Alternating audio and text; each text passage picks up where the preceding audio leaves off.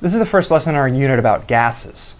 We're going to start off this unit with a quick review about kinetic energy, phase changes, and states of matter. Um, that's information may be familiar to you, but uh, even if it is, I think it'll still be a useful review. Then we're going to talk about a theory with a really scary name, uh, the kinetic molecular theory of gases, which is a lot scarier than it sounds, and it gives us some rules for how we can think about gases. And finally, we'll look at a, a few unique properties of gases uh, that are very different from those of solids or liquids. So let's take a look at uh, kinetic energy first of all. Kinetic energy is a type of energy that anything has if it's moving. So a Mack truck, if it's barreling down the highway, it has kinetic energy, and even a tiny little atom moving around has kinetic energy. The thing about kinetic energy is the faster something's moving, the more kinetic energy it has. So a kid sprinting down the street has more kinetic energy than that same kid just walking down the street. Likewise, an atom that's moving really fast has more kinetic energy than that same atom that's moving very slowly. The idea of kinetic energy is particularly important when we start talking about phases of matter. Let's take a quick review, um, brushing up on what we probably already know about phases of matter. I have here indicated um, some certain representations of phases of matter. I have a container and some particles in it. I've, I've got a representation of a solid, a liquid, and a gas. Let's start with a solid. A solid here, like all the other phases of matter, is made up of particles. That's what these little red circles represent. Particles can be either atoms or they can be molecules that are formed by the atoms coming together. Either way, all things are all matter and all things are made up of particles.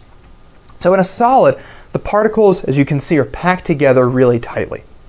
They have very little kinetic energy. They're moving around a little bit, but for the most part, they're locked in place and they're locked to their neighbors. The particles in liquid have more kinetic energy. They're moving around and they're freer to move.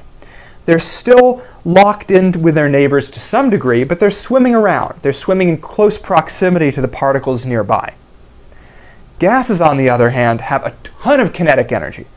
In fact, to make this picture even more accurate, what I'm going to do is I'm going to add a few arrows. These arrows are going to represent the fact that these gas particles are in constant motion. They're moving around all over the place. They're banging against each other and they're banging against the sides of the container that they're in. In fact, these gas particles are moving so quickly that at room temperature, they have about an average speed of 1,000 miles an hour. That's just how fast they're zipping around here in this container. So, solid, liquid, and gas have increasing amounts of kinetic energy, Gases have the most kinetic energy. They're flying around in there, and they're not connected at all to their neighbors.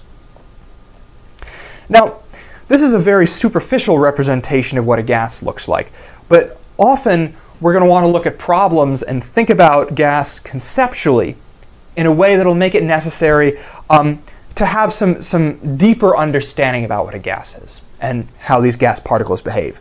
We obviously can't see gas, so in the problems that we're going to do later on, we have to have a way to think about it, a way to conceptualize it. So it's useful to set up a series of rules for how we expect gases to behave. We'll make these rules or assumptions, and then we can keep them in mind when we have to solve problems or do calculations. Now, this list of rules is what's called the kinetic molecular theory of gases. Oftentimes it's just referred to as the kinetic theory of gases. And as I said, it's a list of rules, expectations, assumptions of how we expect gases to behave. Now, if a gas follows every single one of these rules, we call it an ideal gas.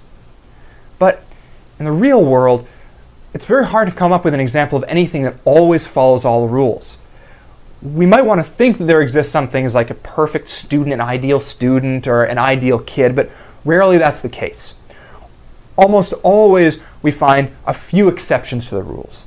And so because of that, it's helpful to think of an ideal gas, but in the real world, none of these gases that we're going to talk about ever follow all the rules all the time. At the end of this unit, we'll look at some particularly bad offenders, gases which break rules more, more often than others do. And we'll look at certain situations that cause gases to break the rules. For the most part, though, in all the gases that we're going to look at now, we're going to assume that they're ideal gases. We're going to assume that they follow all the rules all the time. And for the most part, most of these gases only break the rules in little bits once in a while. So we, we can safely assume that all the gases we're deal, dealing with follow these rules of the kinetic molecular theory.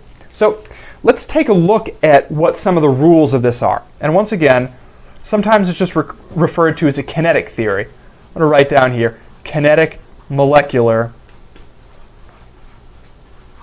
theory of gases. So in no particular order, let's take a look at uh, some of the assumptions that we make about gases. Oh, here's the first one. Gases consist of very small particles that are far apart relative to their size. This is something that's very difficult to depict visually, and I certainly didn't do a good job of it in the phase, in the phase diagrams that I just showed you. Gas particles in the, uh, in the picture that I drew you look like they're the size of marbles in a glass jar. This isn't true at all. Gas particles are so tiny that instead of thinking of them as marbles in a glass jar, if the gas particles are the size of marbles, our container would be like the size of a football stadium. So these guys are absolutely tiny, and there's a ton of empty space between them. That's the first thing that we want to keep in mind when we're dealing with gases. Here is a, uh, a second thing, and this is very important. Gas particles are in constant random motion. We hinted about this earlier with those arrows that I drew of the, the gases moving around. The moving particles constantly collide with each other and with the walls of the container. So all the time, whenever I have gas in any sort of a container, or even if it's just in a room, these guys are zipping around, they're bouncing against the walls, and they're bouncing against each other. Now, let's think about those bounces a little bit more. There are a variety of ways for things to, to bounce into each other. And here we say that collisions between gas particles and container walls are elastic collisions. What's an elastic collision? Let's think about two balls of slime. These two balls of slime on either sides of me come together, and what's going to happen? They're just going to hit each other and they go, Bleh. This is what we call an inelastic collision.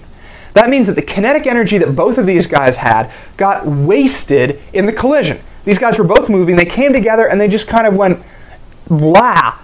And all the kinetic energy, the speed, the motion that they had disappears in the collision. This is like what happens if you chuck an egg against the side of a wall. It hits the wall, and then it just drips down, but the motion that it had, the kinetic energy disappears. That's an inelastic collision. The collision between gas particles and container walls, on the other hand, are elastic collisions. A good way to think about an elastic collision is think about what happens when two red uh, or pink round rubber balls hit each other. They hit and they bounce right off. Or one of those pink rubber balls hits the side of a wall, bam, it bounces right back. The kinetic energy isn't wasted in the collision. So this ball hits here and it has the same amount of kinetic energy afterwards that it had when it started. That's the exact kind of collision that gas particles get into. They bang into each other and they just fly right apart, or they hit the side of a container wall and they just bounce right off it. So whenever you think about gas particles colliding, you always want to keep in, the, in, in mind the idea of elastic collisions. Additionally, we can say that there are no forces of attraction or repulsion between gas particles some particles, like water molecules, kind of like each other, and so almost like weak little magnets, they tend to attract. Other particles, two particles that have the same charge, don't like each other. They're sort of afraid of each other, and so they're going to repel. They don't want to get anywhere near each other. What this loss is, is saying, when we say there are no forces of attraction or repulsion between gas particles, what we mean is that the gases are flying around and they're not going to start clumping together because they're attracted to each other. That doesn't happen. There's not that attraction. Likewise, let's assume that two gas particles are passing each other. They're just going to fly right by. If they repelled each other, zoom, they'd hit out that way when they get close. That doesn't happen. They don't repel each other, and they don't attract each other either. Lastly, here's what I think is probably the most important thing to keep in mind when we're talking about the kinetic theory of gases, and that's that the average kinetic energy of gas particles depends on the temperature of the gas. The hotter it is, the faster they move. So remember that. Hotter for gas movement equals faster. This is tremendously important. The hotter it is, the faster these gas particles move around. So in this kinetic theory of gases, we've looked at a few of the rules that we always want to keep in mind whenever we're dealing with gases. And again, we're going to assume that all the gases we're dealing with follow, uh, follow these five rules that we just talked about.